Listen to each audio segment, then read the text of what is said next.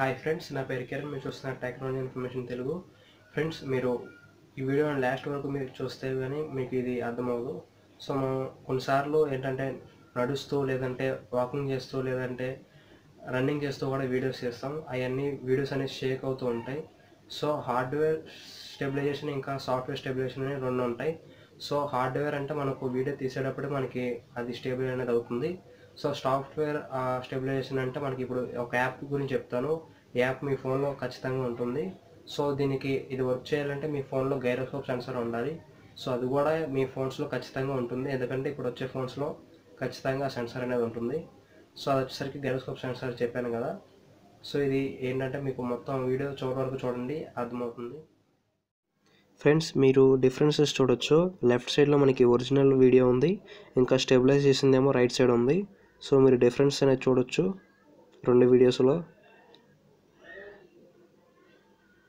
So ఆ app ఇంకా ఏది కాదు మనకు గూగుల్ ఫొటోస్ అనే యాప్ ఉంటుంది.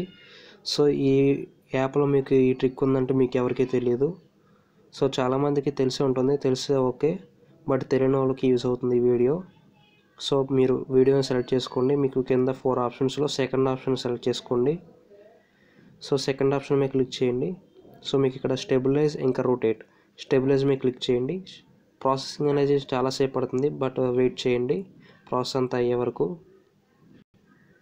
సో ఇది నార్మల్ వీడియో ఇప్పుడు ప్రాసెసింగ్ చేద్దాం. సో మనకి స్టెబిలైజ్ అనేది ప్రాసెస్ అయిన తర్వాత మనకి స్టెబిలైజర్ మీద క్లిక్ చేస్తే మనకి వీడియో మీరు సేవ్ చేసుకోవచ్చు. పైన సేవ్ ఆప్షన్ వస్తుంది కదా. సో ఇది స్టెబిలైజ్ అవ్వని video first original video so చాలా షేక్ అవుతుంది. సో ఇప్పుడు మనం స్టెబిలైజర్ మీద క్లిక్ చేద్దాం. సో ఇక్కడ మీరు చూడొచ్చు చాలా స్మూత్గా ఉంది. సో మనకి నాయిస్ అనేది తక్కువ ఉంది. ఇంకా మనకి స్మూత్గా నడుస్తున్నట్టు మనకి కెమెరా గాల్లో ఎగురుతున్నట్టు వస్తుంది.